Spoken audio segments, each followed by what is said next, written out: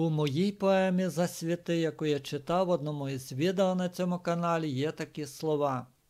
Із корабля коли біжать щурі та миші, тому й в Україні в нас, як не перед добром.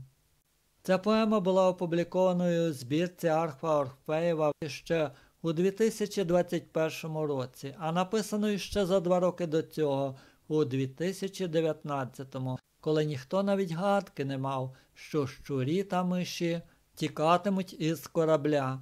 Але це лише ліричний відступ. А тема цього відео це масова добровільна відставка міністрів сучасного уряду, які кинулися звільнятися один за іншим.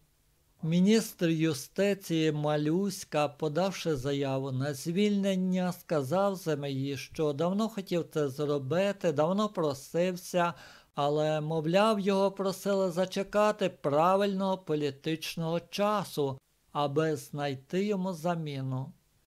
Правильний політичний час, очевидно, вже надійшов, поза як зачекати тепер його ніхто не просить. Коментуючи заяву на звільнення, яку подав міністр закордонних справ Кулєба, політолог Микола Давидюк, говорить, що про справжню причину відставки, очевидно, нам нічого не кажуть. І треба думати, що ця причина є універсальною для всіх і кожного, хто вже подав заяву на звільнення і хто є лише пише у себе десь в кабінеті. Усі вони чудово розуміють, що правильний політичний час десь уже стоїть на порозі, і потрібно дуже поспішати, аби цей правильний політичний час не накрив тебе мокрим рядном. Що ж особливо сталося у нашій країні, а чи за її межами, що мусило воно нагнати таку паніку на наших міністрів, причому на найбільш обізнаних із міжнародною політичною ситуацією. Якщо сказати у двох словах, то можна сказати це так: корабель нашої старої державної системи натрапив на рихви, і обшивці з'явилася пробоїна, помпи не працюють, і пролунав наказ капітана шлюбки на воду. Але якщо це пояснювати не образно, а звичайною мовою, то потрібно заходити здалеку інакше багато що виявиться незрозумілим. Коли розпочалася Курська операція у своєму відповідному відео, я описав три версії задуму і додав, що ця операція розроблялася у кабінетах Генштабу РФ, і була вона нав'язана ставці Верховного головнокомандувача через агентів впливу у нашій владі. Підтвердження моєї версії той факт, що до цього часу ми не знаємо, Хто несе відповідальність за цю операцію? Чия це ініціатива? Адже зрозуміло, що не міг її розпочати Сельський на свій власний розсуд, на свій страх і ризик. Тобто це було колективне рішення ставки у відповідь на чиюсь пропозицію. У своєму згаданому відео я описав три можливі варіанти продовження Курської операції, і на той час Ще не було відомо, який із них вибере наше командування. Тепер же виявилось, що воно обрало найгірший. У Курській операції задіяні найбільш боєздатні частини резерву, а також, якщо вірити Бутусово, понад 70% найсучаснішої техніки, отриманої Україною від західних партнерів. Це ті резерви та техніка, яка б мала зупинити ворога на Покровському напрямку, але вона була кинута на реалізацію авантюри, а не для захисту наших територій.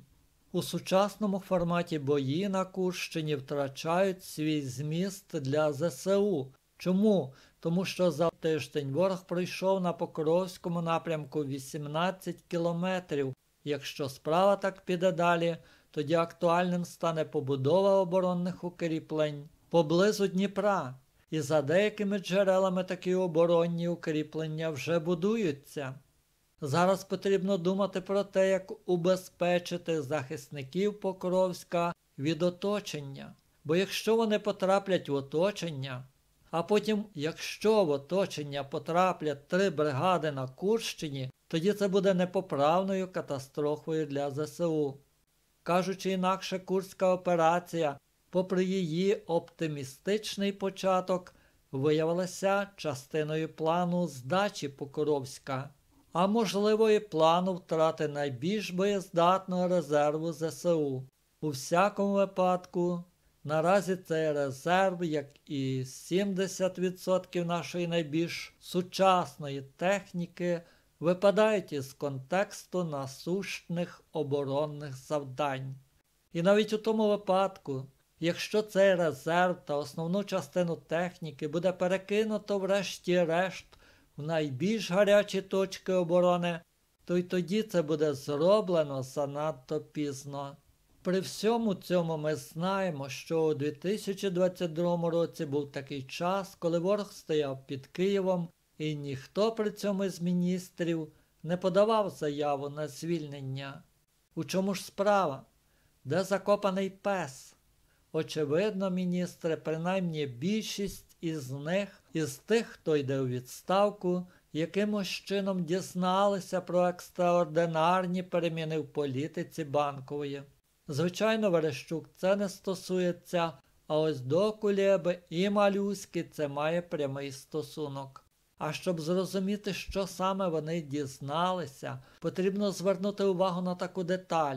Самопроголошений президент номер один, цебто Лукашенко, підтягує військо до кордонів із Литвою і з одною з країн НАТО. Не те, щоб Лукашенко хотів захопити країни НАТО або якусь із цих країн, але справа в тому, що він знає міжнародну політичну ситуацію не набагато гірше за наших міністрів-тікачів. І Лукашенко припускає, що у тому випадку, коли війська РФ наближатимуться до Києва, війська НАТО увійдуть в Україну, аби не дати її захопити остаточно.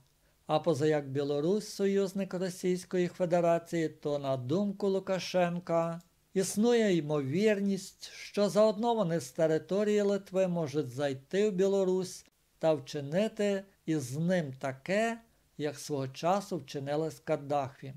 Одним словом, на думку Лукашенка, Курська операція може мати дуже далекосяжні наслідки, в результаті яких Україна може бути поділеною на кілька частин.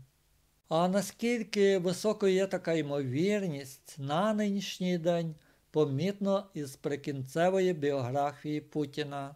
І тут не втримаюся від того, аби вказати на очевидний абсурд, який продовжується в засобах масової інформації.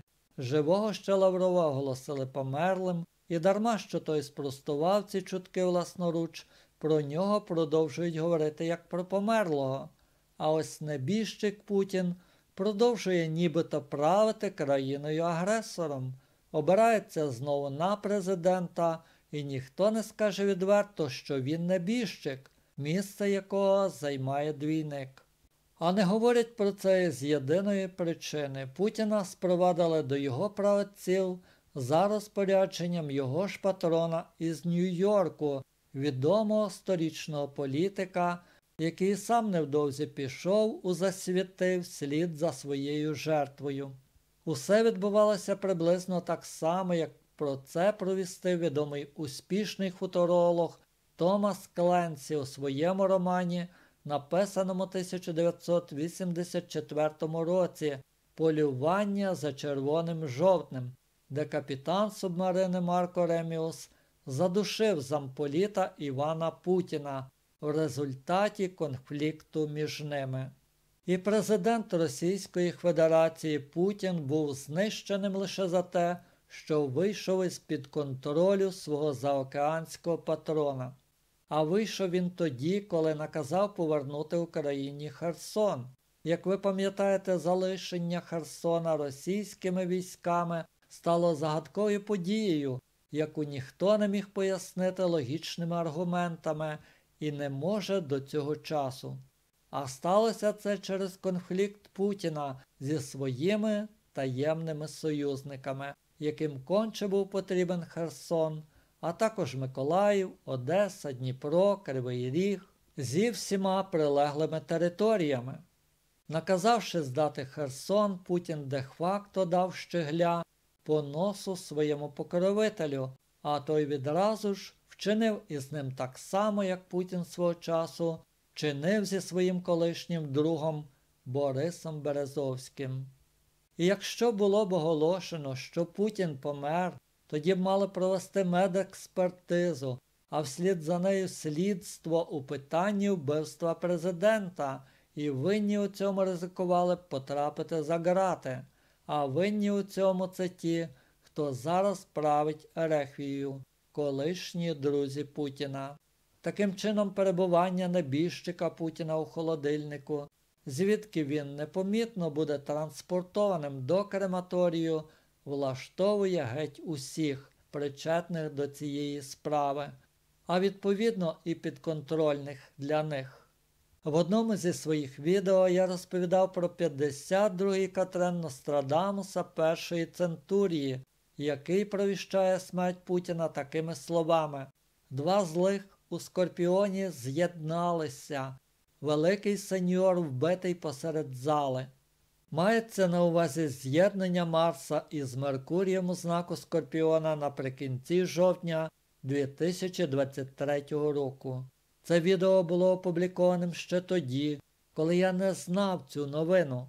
Отож сказав, що вбивство великого сеньора, як провістив про це Нострадамус, припадатиме на 30 жовтня 2023 року, відповідно до точного розташування планет, на які вказує провидець, тоді як сталося це на 4 дні раніше.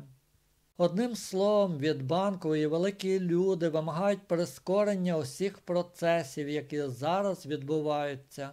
Великі люди пішли в банк, поставивши Зеленського та Єрмака у неймовірно скрутне становище, і кожен із міністрів, хто про це вчасно дізнався, намагається чим швидше гострити лижі.